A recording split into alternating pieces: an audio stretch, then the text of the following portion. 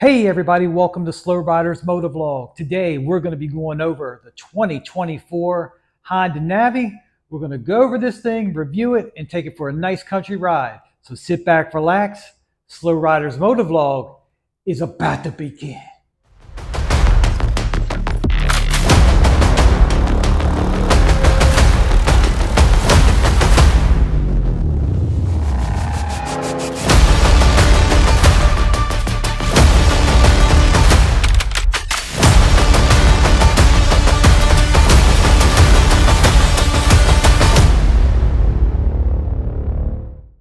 All right, guys, so this is the 2024 model. Um, they've been making the Honda Navi since uh, 2022. Um, being an owner of the 2022 model, I can tell you by going over this one last night that it's absolutely the same thing. It hasn't changed since 2022. Only thing that's changed is the colors, which I think they did an amazing job on the, the color combinations this year uh, with the um, metallic uh, pearl blue, the metallic pearl red, the pearl white, um, and they also have it in silver. Um, maximum capacity on this is 334 pounds. Okay. Um, you can have a passenger. It does have passenger pegs, but the max is 334 pounds. Um, the seat height is 30 inches, and as you can see, this thing sits way low to the ground. So you have plenty of clearance to sit down and flat foot on the ground. So even a shorter person, this is probably one of the, you know, this is a perfect motorcycle um, if you were just getting started.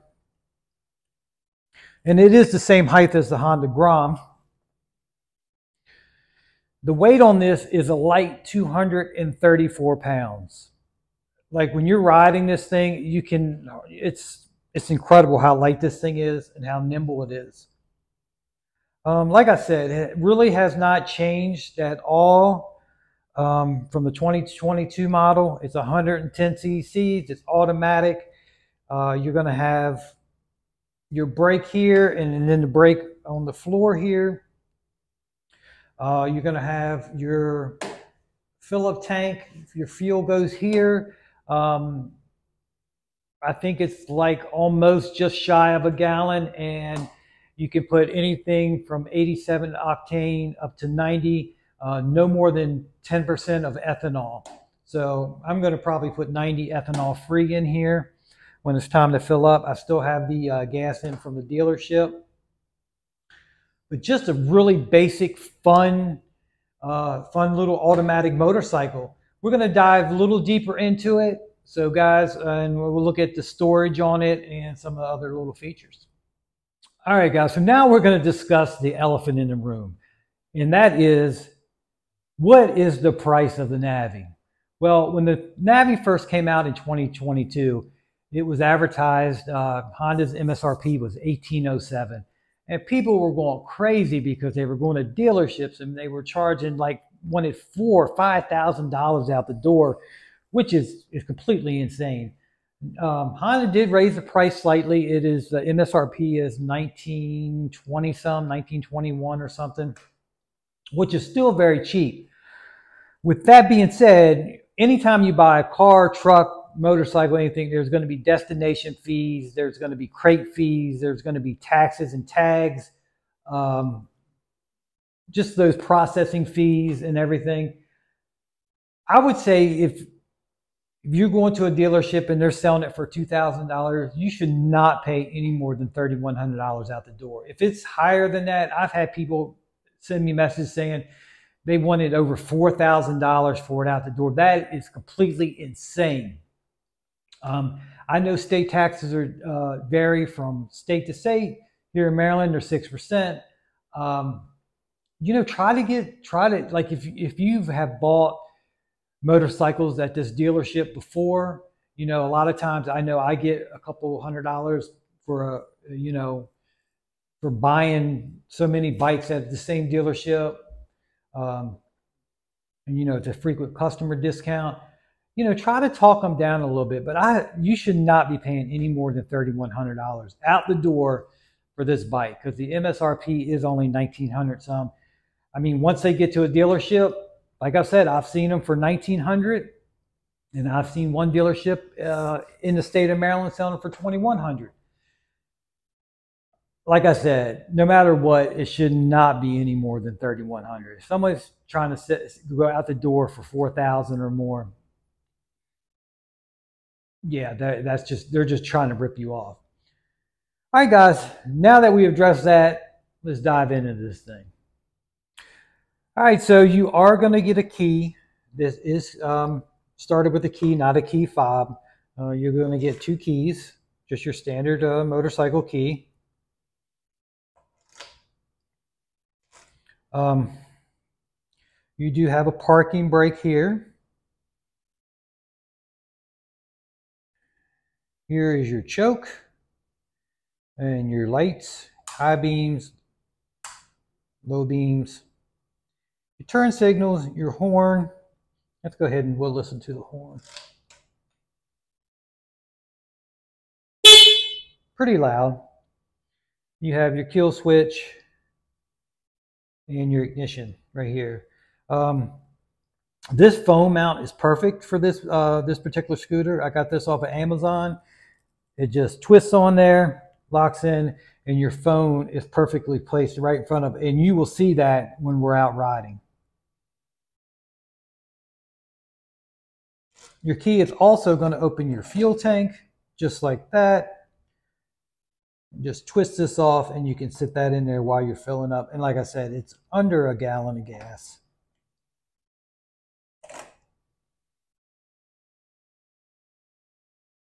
This thing has very, very small tires. Um, that's probably the only drawback that I have on this thing. Uh, it can get a little uh, sketchy when you're hitting that 55 mile an hour mark on those little tires, but it's all good. Here you have your fuel uh, fuel cock. Um, it's on off now, so when you go to go in to drive it, you just turn it down, and that's your fuel. And if you run out of gas, you go up to here and that's your fuel reserve. You have a little storage compartment with the Navi written across it. And that's also used a key. And the mine sticks a little bit.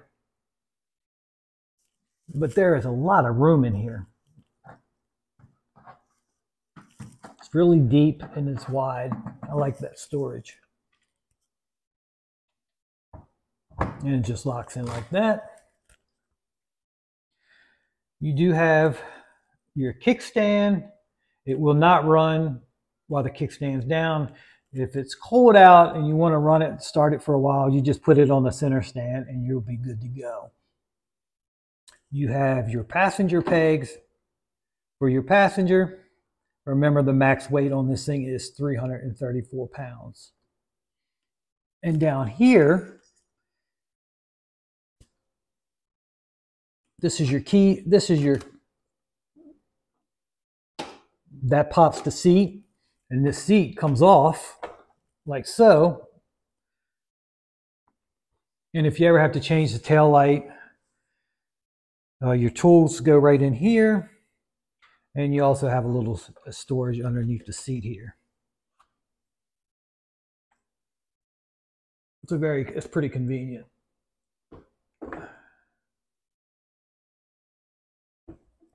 This can be a little pain to get this snapped back into place, but we're just going to sit it there for now. All right, moving around to the back of the bike, you have your shocks here, and if you, you do have a uh, kickstart on it as well. You have a nice little handbar that the your passenger can hang on to. You have your spot for your tag. You have your um, brake light, you have your blinkers and some reflectors down there. I know in the state of Maryland, I don't know, each, each state's different.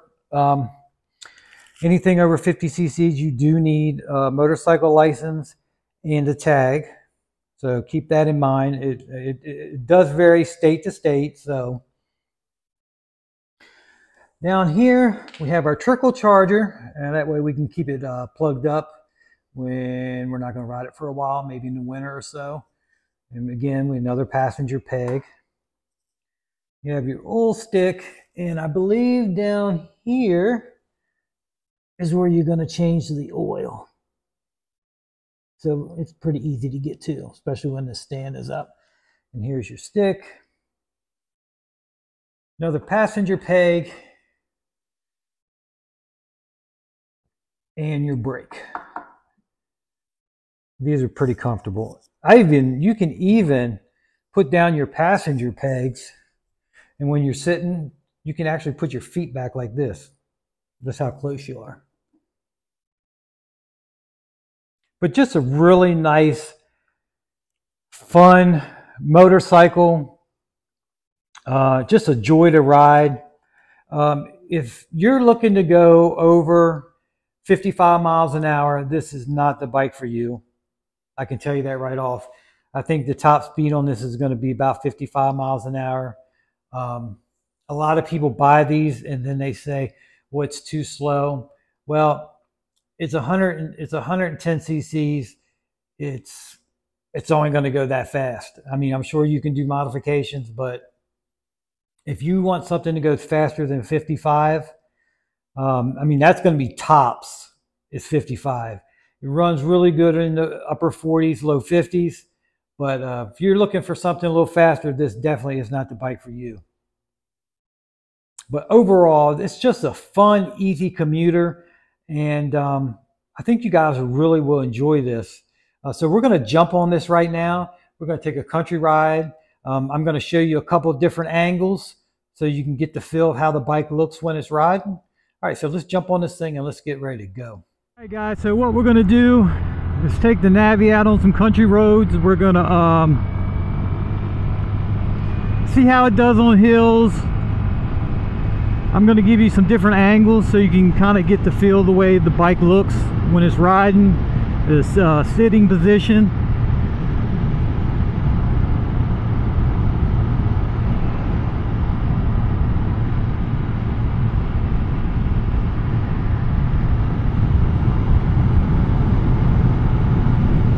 There's some deer ahead.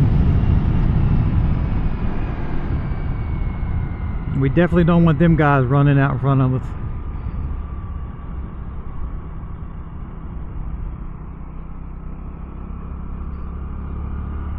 Okay, clear. So yeah, I'm going to give you some different angles, different shots. Uh, we'll see how she does going up the hills. Now you got to understand that this thing only has 46 miles on it, so it's not even near broke in yet. The broke in, the break-in mileage is uh, 600, so we're not going to get maximum speed out of this thing quite yet. It's going to take a while, but we're cruising easily around um, the 40s. Is really easy on this thing but we're just taking it easy right now.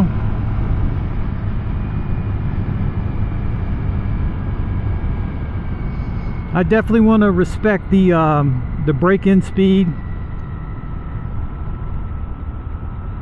And I remember back in my uh, when I had the 2022 uh, Navi, um, I noticed the more I rode it, the faster that thing got. So, and I'm sure that's going to be this case as well.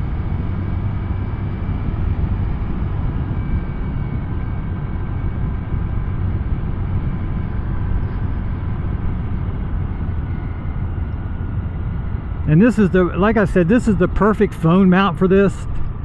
Um, it's under $20 and it just fits just perfect. Because you can look right down at it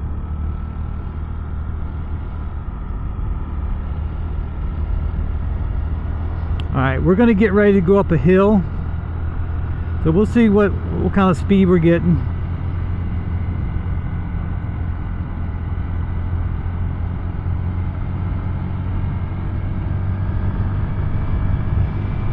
all right, we definitely are increasing our speed.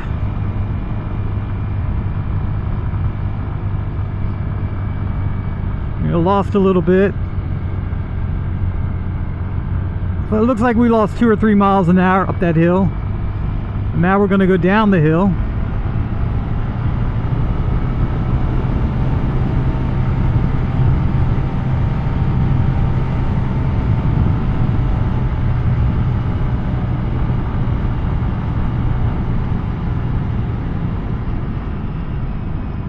So we hit 46 as this car pulls out in front of us.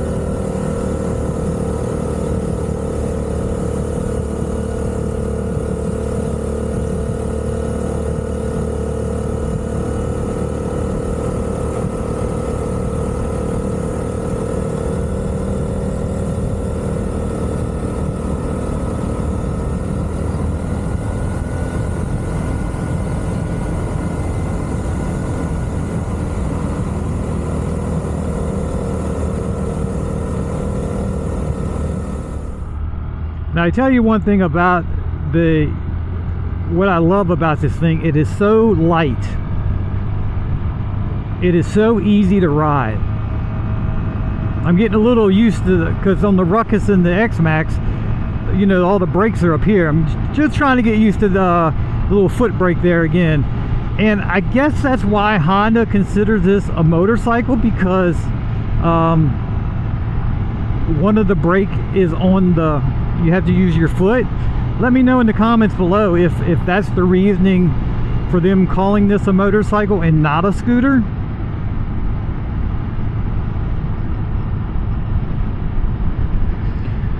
So our top speed right now on this thing is 46 miles an hour.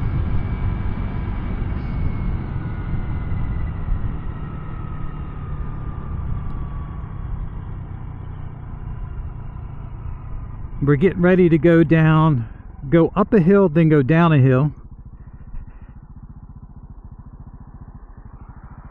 And as you can see completely flat-footed very easy plenty of room. In the sitting position on this thing it's great for a, a shorter person and a taller person because look at the distance.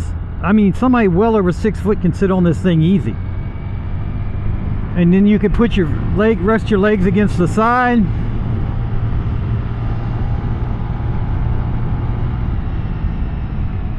Now that doe didn't make it.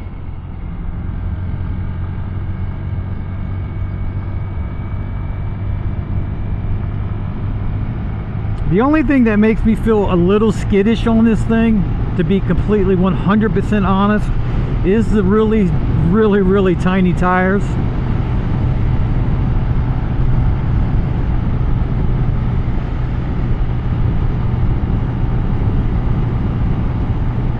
all right now we're getting ready to go down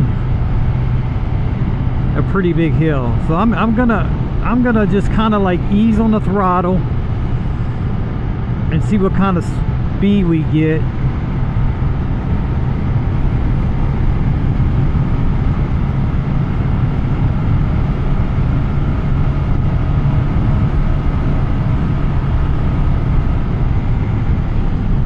So I kind of backed off a little bit, but we did hit 51.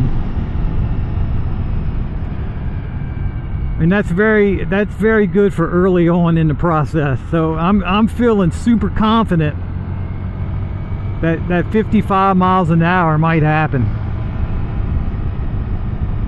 And like I said, I backed off a little bit. So I feel like we could have got 52, 53.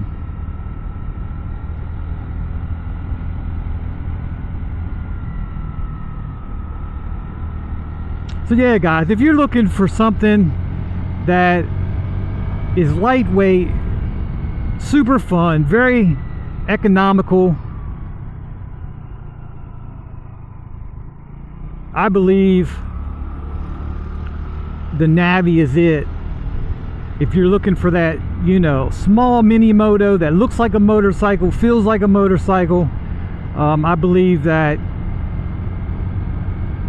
this is going to definitely be the one for you. I know I love riding it. I'm, I know I'm going to love riding it and taking this thing on adventures. Um, it feels good to have one again. All right, guys, remember, like, subscribe, comment below. Stay tuned for lots and lots of more content, bike reviews, adventures, you name it. All right, guys, until next time, Slowriders Motovlog is out of here.